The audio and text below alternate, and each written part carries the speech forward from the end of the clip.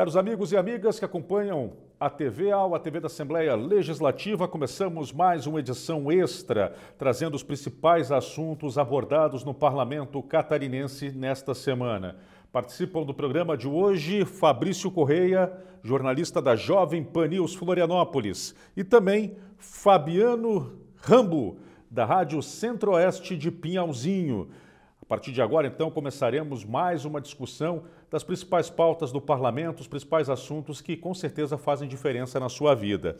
Bom, é, primeiramente quero cumprimentar os participantes. Fabrício Correia, prazer ter mais uma vez é, compartilhado esse espaço com você. Seja bem-vindo. Obrigado, Marcelo. Mais uma vez, eu que agradeço a oportunidade, em nome da, da produção da TV poder participar de mais uma edição extra e trazermos aqui, né, repercutirmos assuntos de extrema relevância para a população do estado de Santa Catarina. Fabiano Lazarotto Rambo, satisfação também compartilhar desse espaço com você. Mas o prazer é todo meu, Marcelo, Fabrício, é a nossa ponte, né? Oeste Litoral. É muito bom estar aqui na Assembleia Legislativa, na TV dos Catarinenses, para debater os assuntos que a Assembleia produz e que contribui e influencia de alguma forma, alguma maneira, a vida de todos nós, o Marcelo e Fabrício. Prazer enorme. E com mediador, né, Fabiano? Que está sempre ah, em todas as regiões, né? Ah, o, o Marcelo é, é, é, ímpar, viu, Fabrício? É isso aí. É, bondade de vocês. Vamos lá, então. Depois dessa bondade deles comigo, olha só. O secretário de Estado da Saúde ele esteve na Assembleia Legislativa, ele foi convocado pelos parlamentares para prestar alguns esclarecimentos relacionados à questão do setor da saúde do estado de Santa Catarina. Pois bem, é, falou principalmente também sobre a questão das UTIs pediátricas, né? Assunto muito sensível, inclusive porque houve mortes de criança no estado e que, ou seja, era necessário realmente trazer para a população os levar para a população ou para o Estado os questionamentos e trazer para a população as respostas do governo sobre o que está sendo feito para tentar resolver toda essa situação que envolve a saúde, principalmente a saúde pediátrica do estado de Santa Catarina. Sempre importante dizer, o governo tem dinheiro em caixa. Né? Por, que, que, as, por que, que as questões não estão acontecendo? Fabiano, começo contigo. É, na sua opinião, o secretário conseguiu responder é, adequadamente aos questionamentos feitos pelos parlamentares? Bom, Marcelo, minha opinião sincera e objetiva em partes, em partes, mas o que a gente sentiu não foi um agrado total dos parlamentares. O estado de Santa Catarina vive um momento muito difícil com relação ao número de leitos de UTIs pediátricas, estamos acima de 90% de ocupação todos os dias, e foram anunciados pelo governo a criação imediata, até logo nos primeiros dias de agosto, 48 leitos, e aqui em nome do Oeste, eu venho manifestar de novo a minha insatisfação que nenhum leito veio aqui para o hospital regional, seja de Chapecó, seja de São Miguel do Oeste. Eu creio que nós estamos novamente desassistidos por esse momento. A questão da ocupação dos leitos é grave. Nós conseguimos produzir 1.600 leitos de UTI durante a pandemia e agora, mesmo com dinheiro em caixa, como tu bem frisaste, Marcelo, estamos é, a conta-gotas lidando com a criação de, de novos leitos de UTI pediátricas, que é uma necessidade, e nós estamos falando de crianças e adolescentes, e com uma cobertura vacinal muito baixa também, que foi um outro tema que foi debatido.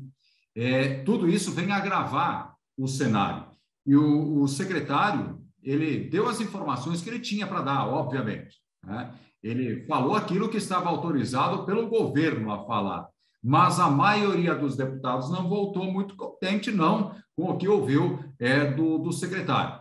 Essa é a verdade e é isso que a gente ouviu dos parlamentares, em especial. A promessa de criação de novos leitos, a explicação de por que tinha leite, por que não tem mais, enfim, o que o governo fez ou deixou de fazer, foram as explicações dadas. Mas eu acho que ainda está quem? E aqui no Oeste, eu volto a frisar, Marcelo, nenhum leito. E já é o segundo anúncio de leitos que foram anunciados para abertura e o Oeste, de novo, não foi nenhuma vez atendido. Bom, vale lembrar que é, essa convocação do secretário eh, de Saúde, ela, ela foi motivada também por uma audiência pública realizada pela Assembleia Legislativa em junho. Fabrício, eh, o Fabiano lembrou bem a questão do Hospital Regional do Oeste e tem a questão do Hospital Regional também de São José, inclusive com troca de servidores, ou seja, é uma situação estadualizada, na verdade, né, e que mostra aí um maior planejamento em relação à saúde do Estado, sobretudo essa questão da, das UTIs neonatal e também, enfim, para o atendimento de crianças de, de mais idade também, podemos dizer assim. Principalmente, Marcelo, e amigos que nos acompanham, num período do ano muito crítico, né, em virtude da, da, da, estação mais fria, que é o inverno, sem dizer ainda que esse não está sendo um inverno tão rigoroso, no qual ele tem provocado aí, muitas vezes né, doenças respiratórias, síndrome respiratória aguda grave na criançada, nos bebês, enfim. E o sistema público de saúde, lamentavelmente, enfrenta toda essa situação, essa situação de caos. Eu costumo dizer, Marcelo, inclusive, para quem me acompanha aqui na região da capital e outras cidades do estado também, na programação da Jovem Pan News, que a saúde ela tem estado doente, já não é de hoje, a gente sabe, né? Reflexo de muito tempo. Entra gestão, troca gestão, outras áreas são priorizadas, a gente sabe que áreas até não menos importantes, mas a saúde ela precisa estar sempre em primeiro lugar. Ela não pode ocupar um lugar mediano, o último lugar da fila das prioridades em qualquer governo. Né? Então, realmente, o que a gente vê aí é um caos na saúde. O Hospital Infantil, por exemplo, Rio de Guzmão, em Florianópolis, que é uma referência para queimados em Santa Catarina, né? para crianças vítimas aí de queimaduras de, né, de, de qualquer natureza. Eu tenho um carinho particularmente muito especial pelo hospital infantil, primeiro porque ele está situado no bairro da Agronômica, eu tenho minhas raízes nesse bairro, Marcelo, você conhece bem aqui a região, fica não muito distante até do Palácio do Governo Catarinense. É um hospital muito bem situado, muito frequentado, né? E a gente vê nesse ano um verdadeiro caos. Lamentavelmente, quando tem se falado do hospital infantil, as notícias não são boas, a gente só fala de destaque ruim, não porque a gente quer, Parece assim que as notícias perseguem, né? as notícias ruins. É bom que se diga ainda que muitos pais chegam lá para ser atendidos de manhã, vão receber esse atendimento só à noite, às vezes no dia seguinte. Os pais ficam enlouquecidos, ficam indignados, né? querem muitas vezes é, partir para agressão. Nada disso resolve. Né? A situação que já é muito difícil, nada disso vai se resolver com violência, com agressão, com bate-boca, discussão e por aí vai. Até porque quem está na unidade de saúde na linha, na linha de frente é, é, lida com toda essa dificuldade também. Eles também são vítimas do processo. Não é só o pai, não é só a pessoa na ponta da linha, não é só o paciente, é a criança que espera pelo devido atendimento, mas sim essas pessoas que, inclusive, estão sobrecarregadas para prestar o atendimento para a população. Quer dizer, vem do alto escalão, vem do, é, são pilares, né? O governo catarinense aí que a gente observa, e não se não, você não der suporte para o paciente, consequentemente, né, o pessoal da linha de frente também não vai ter a capacidade de prestar um bom atendimento, um bom suporte para aqueles que mais necessitam. Então, é lamentável. A gente vê aí o Fabiano destacar o Hospital Regional do Oeste, na maior cidade do oeste catarinense, que é Chapecó, outras unidades de saúde também da região aí do oeste, extremo oeste, Santa Catarina, aqui no litoral, o Hospital Regional de São José com dificuldades, com troca de efetivo, enfim, né? Nós temos o Hospital Infantil Joana de Guzmão, como eu mencionei, aí o governo dia desses informou, né? Ah, mas os municípios também têm que se engajar para a gente poder diminuir o caos. Nada disso justifica. Claro que a força conjunta ajuda muito. A gente sabe também, Marcelo, e, e, e telespectadores aí da, da TVA, que muitas vezes casos aí clínicos poderiam ser resolvidos até em farmácia. A gente sabe muito bem que às vezes até um comprimido alivia a dor de qualquer pessoa, não só de uma criança, mas pessoas de outras faixas etárias também. Mas nada disso justifica o caos instalado na saúde em Santa Catarina. E ainda sobre o Hospital Infantil Joana de Guzmão na capital, viu, Marcelo? Nós temos aí observado que containers têm sido montados na frente da unidade de saúde pública para atender né, os pacientes. Dias eu recebi vídeos aí de pessoas que frequentaram o Hospital Infantil João de Guzmão e o que se viu nos vídeos, olha, foi algo nada, nada agradável. Né? Saúde ela precisa ser priorizada, precisa estar em primeiro lugar. É, e tem uma questão levantada pelos parlamentares de que, é, inclusive, o governo do estado foi alertado no final do ano passado sobre essa questão de dificuldade em relação ao UTI neonatal né, e UTI infantil também. É, ou seja, é, que mostra que o planejamento é extremamente importante, né? Você tem, você, ainda mais quando você recebe um alerta como esse, né? Olha que grave isso, né? Olha que, que, que importante é, destacar isso. O governo sabia que poderia acontecer isso, foi alertado, mas a questão não aconteceu. Marcelo, e a gente sabe que esse ano é um ano de eleição, mais um pleito eleitoral se aproxima.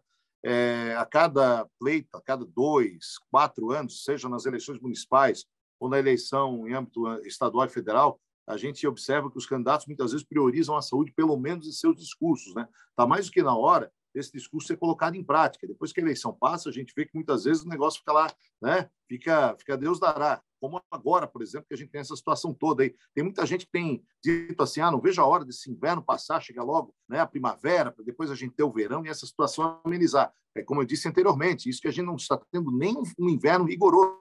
Imagina se tivesse, hein? Fabiano mencionou aí mais de 90%, né, todos os dias aí, a capacidade das UTIs no estado de Santa Catarina praticamente ocupadas, né, em todas as regiões do estado. Então, quer dizer, está mais do que na hora de darmos um soco na mesa, mas aquele soco assim para realmente resolver. Né? A população por si só não vai fazer a sua parte. Né? É importante que é, os governantes, as autoridades, os diretores de unidades de saúde possam se engajar. E digo mais, hein? muito importante também, Marcelo, o papel aí da Assembleia Legislativa no que tange as discussões, as reuniões ampliadas, as audiências públicas nas comissões de mérito, né, Comissão de Saúde, por exemplo, o envolvimento não só de deputados aí da oposição, mas também os deputados da base, né, no âmbito, no, no intuito de poder ajudar também o governo com ideias, com proposições, com alternativas, de modo a, né, a amenizar toda essa situação enfrentada nesse momento pela, por Santa Catarina, que é uma situação nada fácil realmente na área da saúde.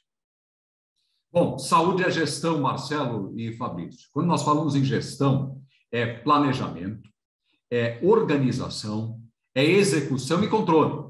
Tá? Isso é gestão, é, é, é dar continuidade às políticas públicas que ali acontecem. E quando um desses elos falha, obviamente alguma coisa não vai dar certo. E o que a gente percebeu em vários aspectos foi justamente a questão da falta de planejamento que acabou gerando problemas muito sérios para o governo do Estado. Vejamos a crise dos respiradores durante a pandemia, ou alto da pandemia do Covid. É um sinal muito claro que faltou o planejamento, que faltou a organização.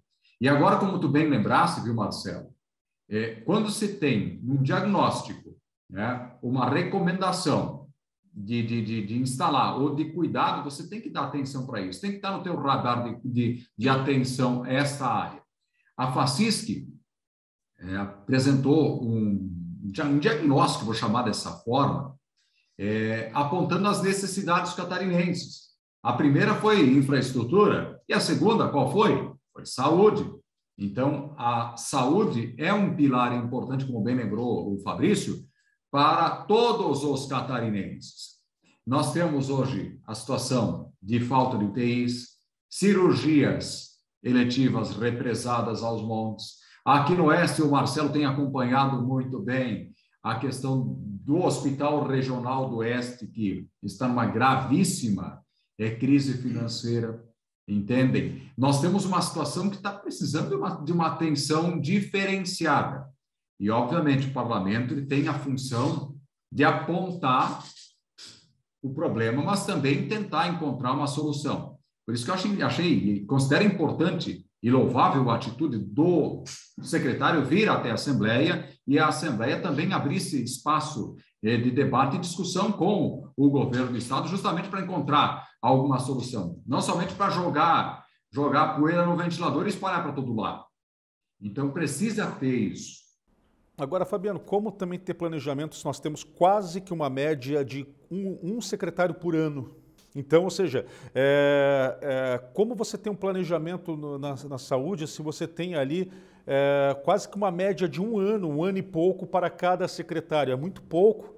Né? Se para o município, ainda mais município pequeno, já é pouco você ter uma troca de secretário constante, imagina para um Estado.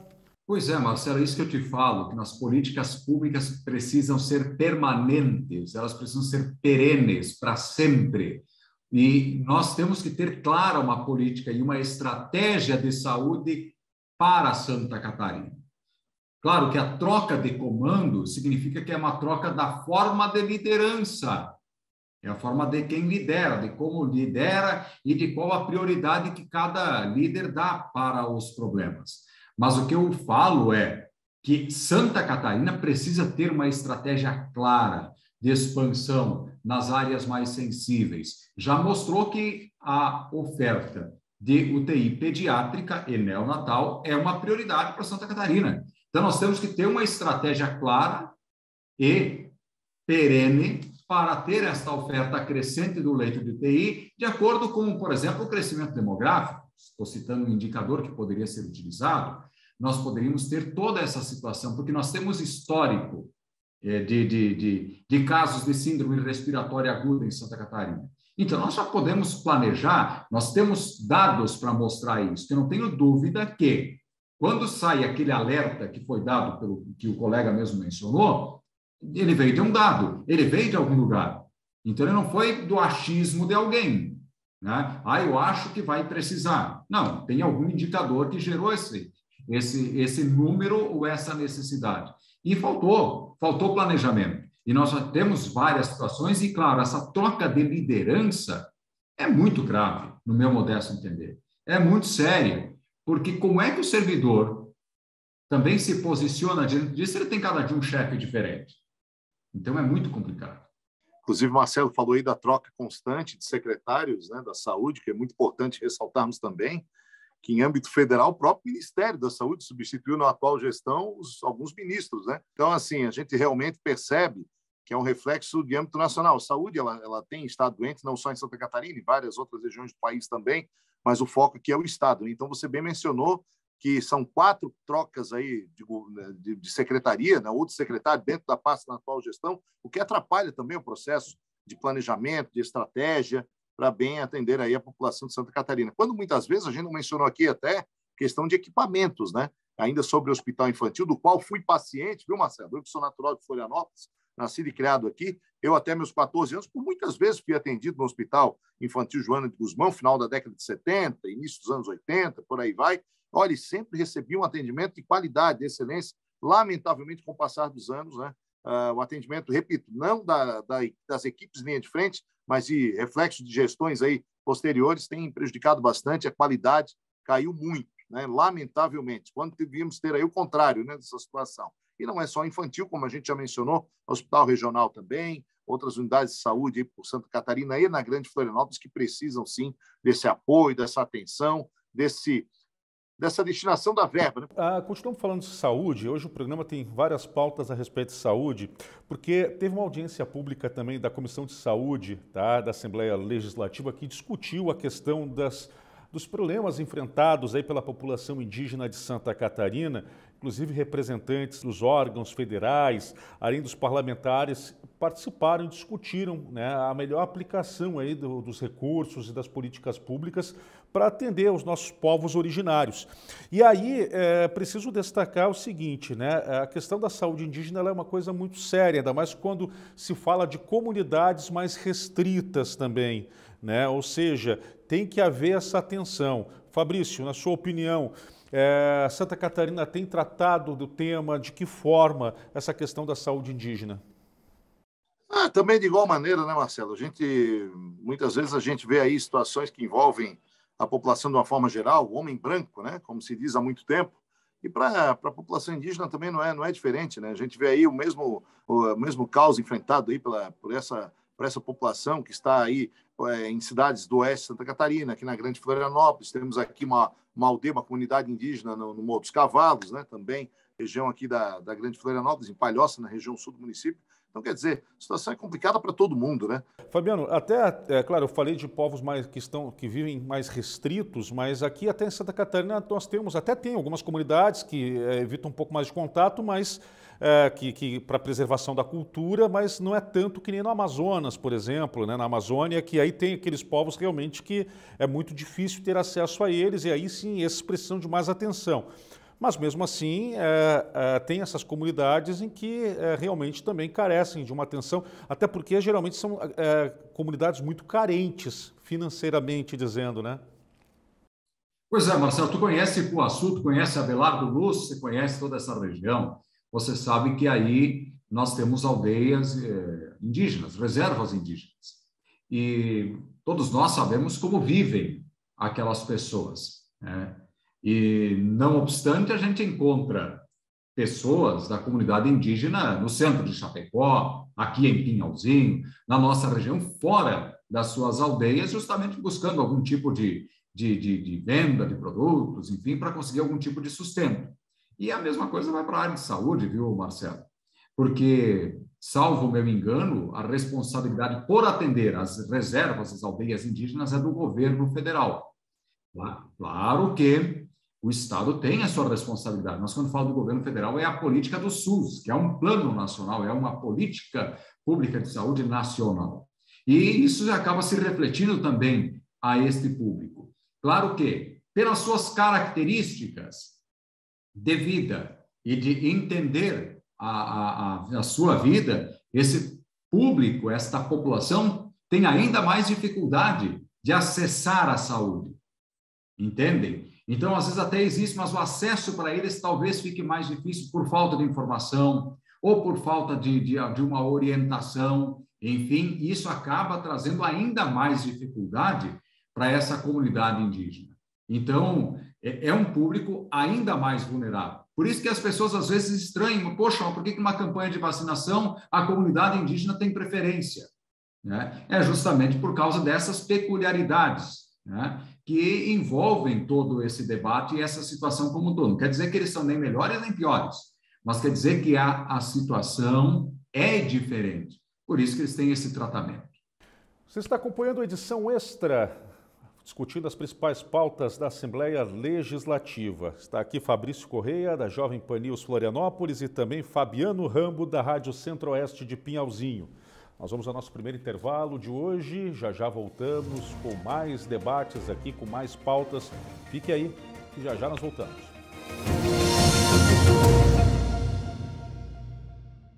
Estamos de volta para o segundo bloco do programa de hoje, edição extra. Você acompanha aqui na TV Alto toda sexta-feira. Você acompanha as principais pautas que são discutidas aqui na Assembleia Legislativa. Hoje eu tenho aqui a participação de Fabrício Correia, da Jovem Pan News de Florianópolis, e de Fabiano Rambo, da Rádio Centro-Oeste de Pinhalzinho.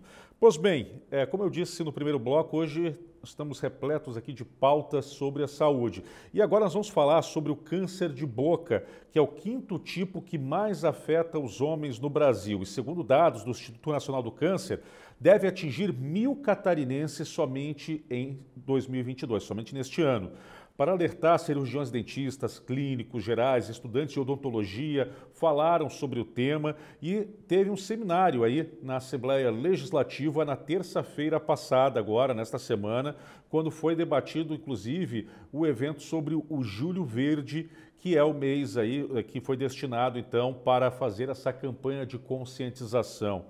É, Fabrício, é, é, claro que é, esse tipo de trabalho é sempre muito importante.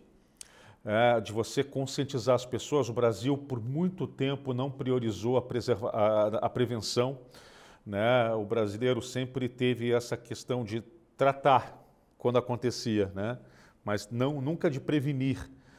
E a, o Brasil, depois de alguns anos, passou a entender que é muito mais barato e que também é muito mais efetivo para a saúde das pessoas você tratar na prevenção, atacar a prevenção, né, antes de não permitindo que a doença ocorra, ou pelo menos tentando minimizar caso ela venha a ocorrer.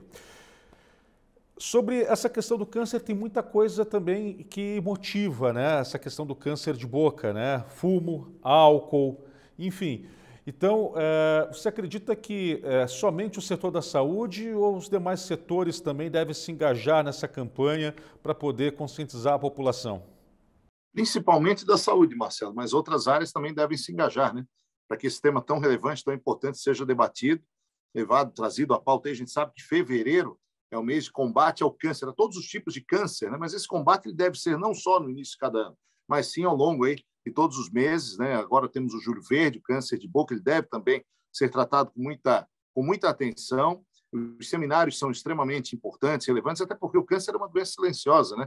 E o tratamento, a questão do acompanhamento é sempre importante, questão do tabagismo, do álcool, a situação dentária, né? Ou dental, como queira, de cada, de cada cidadão, sempre importante o acompanhamento, né? a, a, a, o comparecimento mínimo aí a cada seis meses num, num odontólogo para ver toda a situação. Tudo isso ajuda a prevenir. Eu não sou aqui especialista, a gente é comentarista, né, Marcelo? Somos pagos para opinar, para comentar, somos jornalistas, mas são dicas aí que realmente as autoridades na área de saúde têm reforçado aí a cada ano, a gente observa. E o número né, de pessoas que tendem a contrair essa doença, ele, lamentavelmente, tem aumentado. Agora, é importante, sim, a discussão, o debate na Assembleia. Nós temos a Comissão de Saúde, que deve também se engajar nesse tema, nesse assunto, especialmente no Júlio Verde, mas repito, não só no mês específico, todo ano, né? Eu acho que a saúde sendo tratada aí de, maneira atenciosa é sempre muito importante. E mais um detalhe, né? os seminários também sendo realizados por estudantes de odontologia, médicos, né? sociedade de uma forma geral, sociedade civil,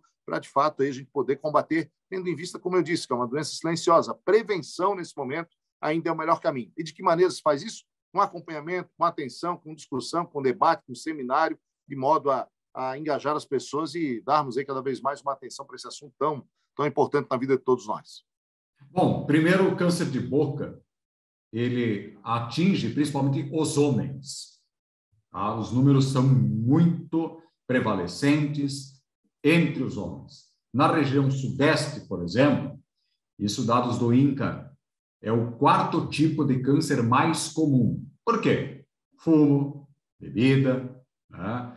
Obviamente que não é cedo que a doença acaba por aparecer, mas mais com o tempo. Né?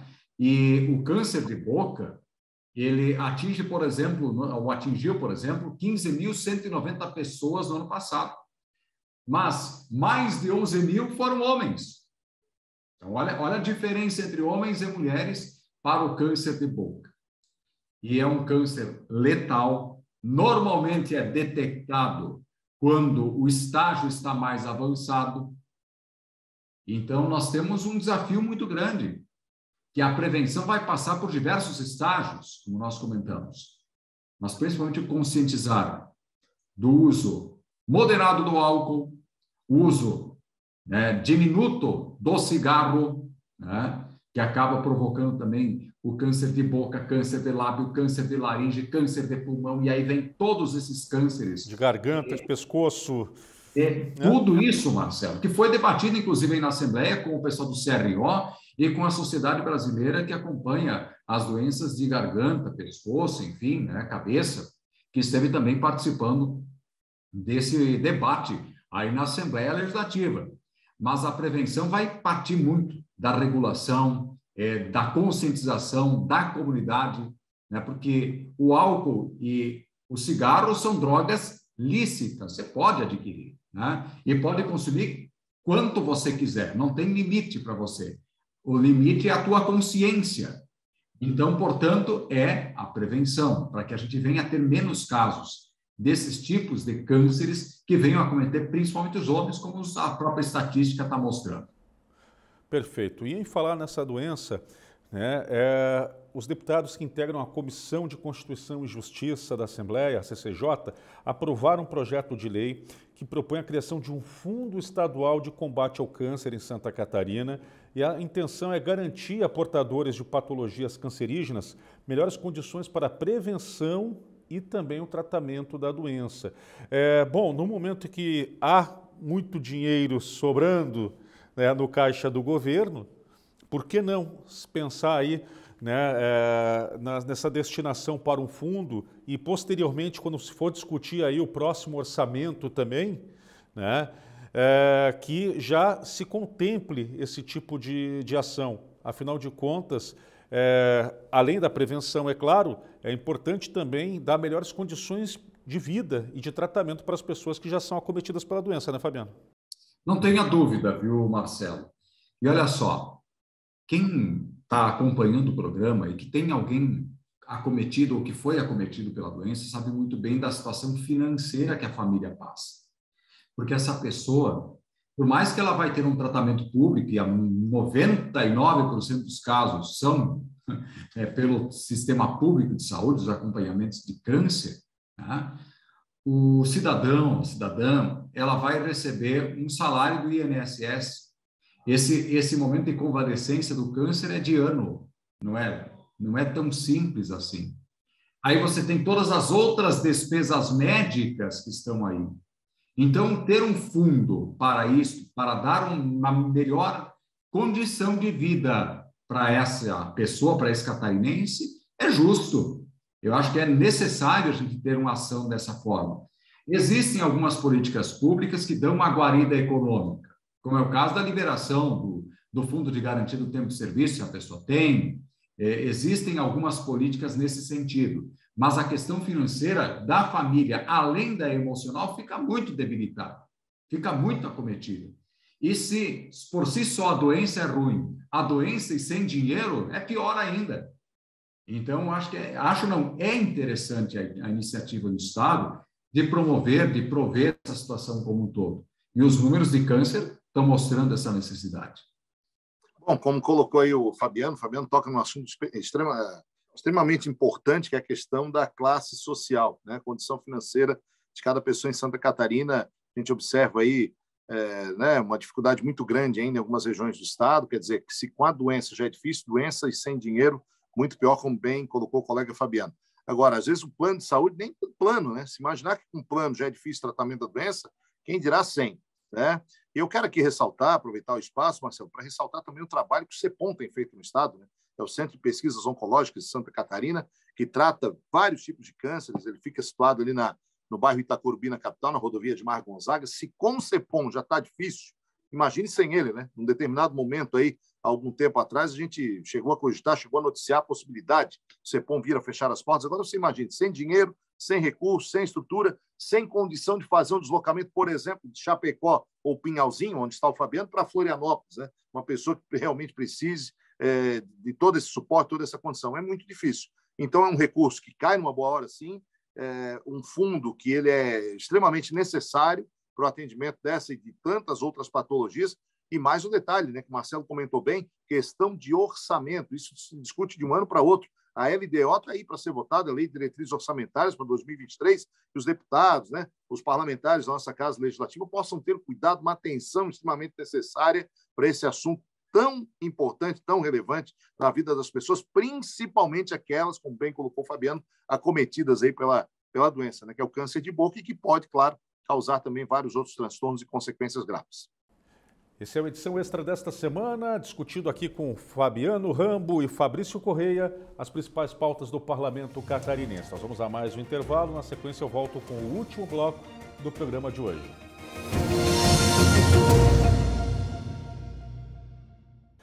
Estamos de volta com edição extra desta semana. Você que acompanha o programa Edição Extra aqui na TVAL, TV da Assembleia Legislativa, toda sexta-feira. É, sempre lembrando que é, ou eu ou algum colega trazem as pautas e sempre convidam profissionais, grandes profissionais como Fabrício Correia, como Fabiano Rambo, para contribuir com o debate. É, você também pode, além da TVA, você pode acompanhar também através do site da Alesc né, para poder também ter acesso à programação.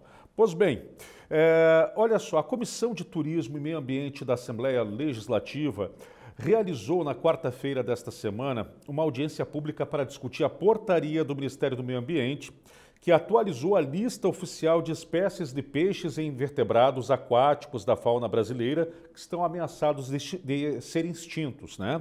É, pescadores de todo o estado participaram do encontro, é um assunto muito importante, mexe com uma cadeia produtiva muito grande, é, desde o oeste lá, né, o pessoal que faz a pesca dos rios, nos rios, como também ah, no litoral, e, é, ou seja, movimentou então é, toda uma classe, todo um setor produtivo. Fabrício Oliveira, é, essa preocupação realmente tem que ser, esse assunto tem que ser debatido porque ele é preocupante, afinal de contas, ele afeta, como eu disse antes, todo um, todo um setor produtivo voltado à questão da pesca, né? Verdade, Marcelo. Inclusive, nessa última semana de julho, nós noticiamos a, o encerramento do, da, da, da, safra da, da tainha em Florianópolis em 2022, só para você ter ideia, por que, que eu entro nesse assunto? Porque se a gente comparar com o mesmo período do ano passado, 2021, são cerca de quase 70 mil tainhas a menos né? na, na mesa aí do, do trabalhador, das famílias. São cerca de 145 a 150 mil tainhas capturadas esse ano, contra 217 né? no mesmo período de 2021. Agora, tem vários assuntos ou vários, várias questões que impactam diretamente nessa, nessa questão né? de, de espécies de peixe em extinção. Quais são elas? Lixo no fundo dos mares, dos oceanos, a ação humana, muitas vezes, provocada pelo homem, né? em relação a tudo isso. Inclusive, agora, nesse último fim de semana de julho, ah, nós anunciamos também uma ação da Catimar, né? em Florianópolis, uma das praias do sul da ilha, na capital, que vai, que justamente mobilizou equipes né? que trabalham em ONGs para remoção de lixo do fundo dos mares, oceanos, lagos, lagoas, enfim. A gente sabe quando há esse tipo de trabalho, muita coisa ruim se tira né, do fundo dos mares, é, pedaço de geladeira, bicicleta, micro-ondas, eletrodomésticos, móveis, tudo que não presta, plásticos, né? a gente vê aí muitas vezes pneus velhos. Então, quer dizer, tudo isso é um reflexo para que as espécies também é, de peixes aí possam estar cada vez mais em extinção, o que é lamentável, prejudica a cadeia alimentar, prejudica o trabalho do pescador artesanal, né, do pescador que está aí, que depende dessa, dessa renda também para sobreviver. Então, quer dizer, perdem todos, todos, todos perdem, e o desrespeito, a agressão, a violência contra o meio ambiente é algo a se lamentar muito, e muito mesmo por todos nós. Santa Catarina é um estado que é referência no país em pesca. E o tema é bastante delicado, porque, por um lado, você tem a necessidade da pesca e, por outro lado, você tem a preservação do meio ambiente. Então, não pode haver uma pesca predatória, porque a pesca predatória é prejudicial para os dois lados tanto para o pescador, que pesca hoje, mas não pesca amanhã, e os peixes que acabam por não mais existir. E o Fabrício comenta da necessidade de conservar né, o nosso meio ambiente, porque não há forma de vida se não tem oxigênio, se não tem, uma, no caso dos peixes, um local adequado para sua procriação. Então, nós estamos numa situação muito delicada. E me entristece muito, viu, o Fabrício, vocês que moram aí na capital, que é, não, vamos ser, vamos ser sinceros, um dos lugares mais bonitos do Brasil, que é a nossa capital, é nossa Florianópolis, com praias maravilhosas, reconhecidas no Brasil inteiro. Então, nós temos que ter esse cuidado. Nós, catarinenses, precisamos cuidar do nosso lugar de vivência. Nós do Oeste também temos essa responsabilidade quando formos a Florianópolis, né, para desfrutar é, da, da, bela paisagem de, de, de, Florianópolis, a nossa capital, e não, não estragar o que lá está. Porque é justamente isso que acaba colocando em risco o trabalho de muita gente, colocando em risco espécies que poderão um dia não mais existir. E nós temos todo um ecossistema econômico que precisa subsistir também. Aqui no Oeste, nós temos pescadores, como bem lembrou o Marcelo, principalmente no nosso rio Uruguai, que em tempos de seca, como tivemos agora recentemente, esse pessoal ficou muito preocupado, porque os peixes também acabavam por desaparecer. Mortandade, enfim, os peixes de má qualidade, enfim, várias situações nesse sentido. Então, é uma preocupação que nós catarinenses precisamos ter, nós brasileiros precisamos ter, que é a preservação do meio ambiente, para que a gente tenha também a conservação de um trabalho dessas pessoas que são os nossos pescadores. E, afinal de contas, quem não gosta de um bom peixe? Hein? Quem não gosta de um bom peixe bem preparado? É verdade. Agora, é, é claro que tem a questão, você falou bem, vocês falaram bem, né? Vocês puxaram muito a questão do meio ambiente, vocês dois, e de fato, né, a ação humana, enfim, tudo que tem sido feito em relação ao meio ambiente tem realmente ocasionado esse tipo de situação. Mas, uma vez posta a situação, é, primeiro, é preciso sim preservar essas espécies, essas espécies, e aí, não pescando, você ajuda elas a se proliferarem, e aí sim você retoma uma normalidade, mas, ao mesmo tempo, você precisa também pensar na questão de quem trabalha, de quem vive disso, né? E aí, daqui a pouco, se recorre a quem? Para poder também é, fazer com que esses pescadores tenham um subsídio a fim de é, minimizar as perdas né? porque eles sofrem, claro, não podendo é, pescar algumas espécies e que afeta né, o negócio deles. Fabrício. Bom, a gente comentou aqui da preservação das espécies e da fauna, flora, meio ambiente de uma forma geral, Marcelo, e não são gramas, não são quilos que são removidos aí dos mares, né, todos os anos, nessas ações aí, nesses mutirões são formados, mas toneladas né, de dejetos, plástico e tudo que não poderia estar no fundo do mar. Agora é bom que se diga também o Fabiano toca num assunto importante que é a pesca predatória. Né? O, período de defesa ele tem sido, de fato, respeitado em Santa Catarina. A gente sabe que existe período de defesa. Será que o pescador ou aquele que vai para lá se dizer pescador tem respeitado o período de defesa? É muito importante também que é, o poder público ele faça o acompanhamento de toda essa situação, né? seja a Capitania dos Portos, Ministério Público, Polícia Militar Ambiental, enfim, né? para que, de fato, toda essa prática ilegal, essa pesca clandestina, possa ser combatida também no Estado. E a gente fala aqui da preservação dos mares, né, tendo em vista que é, essa quantidade volumosa de sujeira atrapalha e faz com que possa provocar, inclusive, a extinção de espécies, mas é muito importante também que esse monitoramento, esse acompanhamento, esse, esses atos criminosos sejam, de fato, né, é, é, inibidos em nosso Estado, e que, de fato, os responsáveis ou irresponsáveis, como queira, possam ser devidamente, exemplarmente punidos. Então, é uma força conjunta, é um trabalho que envolve não só aí a comissão, a comissão de turismo da Assembleia Legislativa, mas o poder público de uma maneira geral, de modo a conscientizar as pessoas e aqueles que lidam com a pesca ano após ano. Pois é, é e aí está a questão do quê? De fortalecimento e da parceria, né?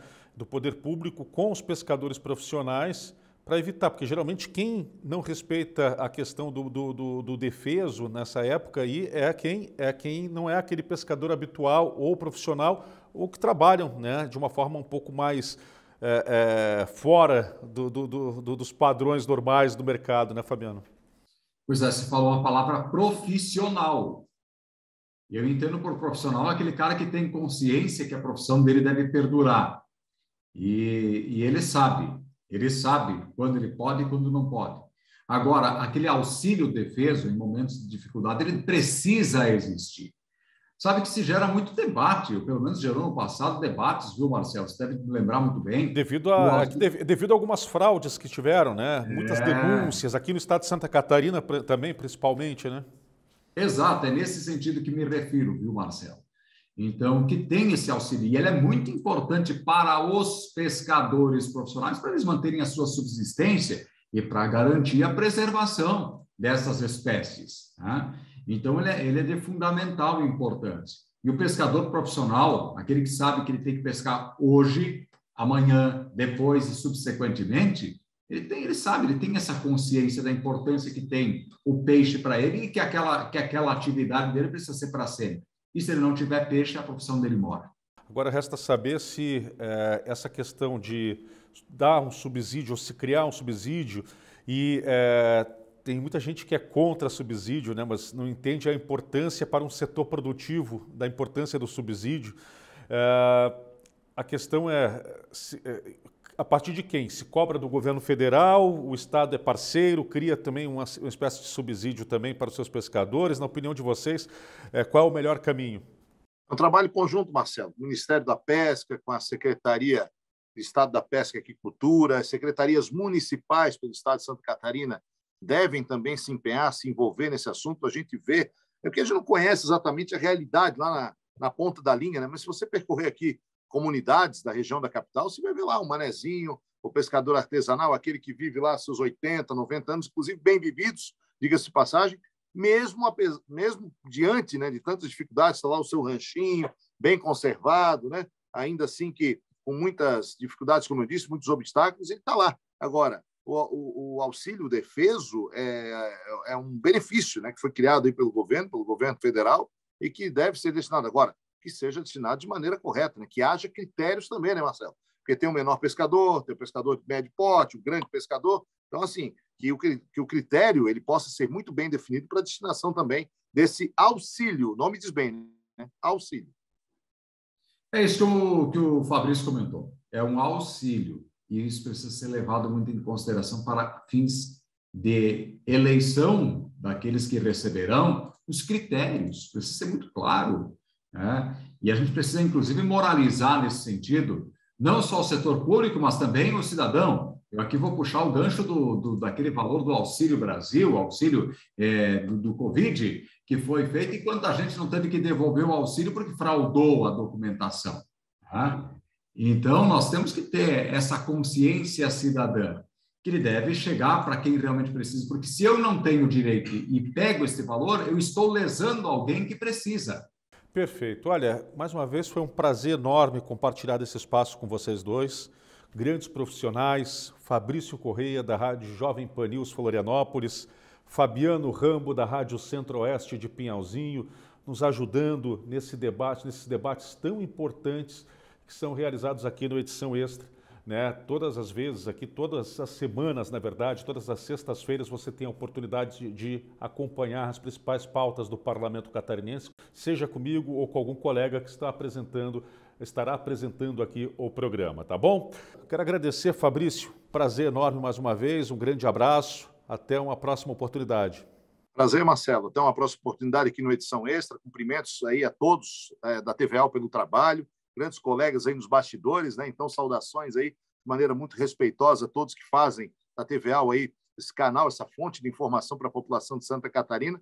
E mais uma vez aqui registrar minha satisfação em poder te encontrar por aqui, quando não presencialmente, até mesmo nos arredores da Assembleia, né, Marcelo? Verdade, verdade. Foi um prazer ter falado com o amigo, mesmo rapidamente, mas foi um, foi um grande prazer.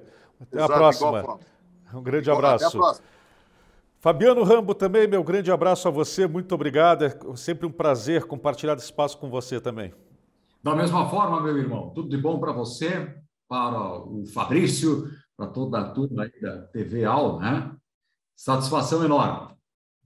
Tá certo então. E é isso, ficamos por aqui, agradecendo como sempre né, a sua audiência e, claro, repetindo, toda sexta-feira tem edição extra, tá bom? E com reprise aos finais de semana. Acompanhe, porque afinal de contas você precisa saber o que o parlamento está discutindo, afinal de contas fará diferença na sua vida.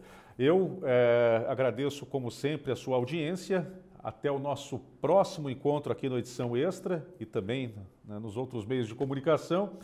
E faço também mais um convite para que você siga também acompanhando demais, os demais programas da programação aí da TVA. Um abraço, até o próximo Edição Extra.